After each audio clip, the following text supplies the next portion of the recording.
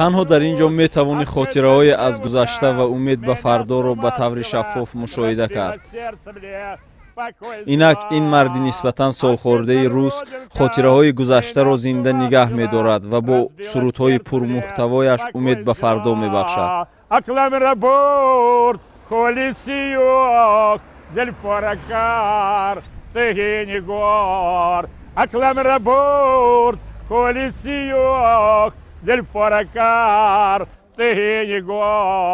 Ах, эта родинка меня с ума свела! разбила сердце мне, покой взяла.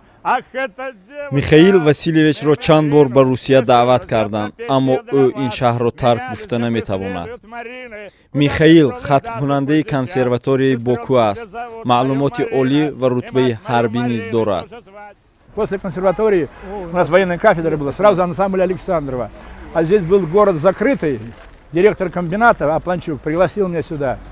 Репертуари михаил таронаҳои ҷовидонаи тоҷикиву русиро дар бар мегирад барои ҳаводорони таронаҳои ретро классик. Ҳунари михаил як консерти ройгон аст михаил на саҳнаи калон мехоҳад на қарсаки пурмавҷ на дастагулҳои мухлисон на унвони шӯҳрат. Барояш ҳамин кофист ки дар ҷоддаҳои ин шаҳр суруд мехонад.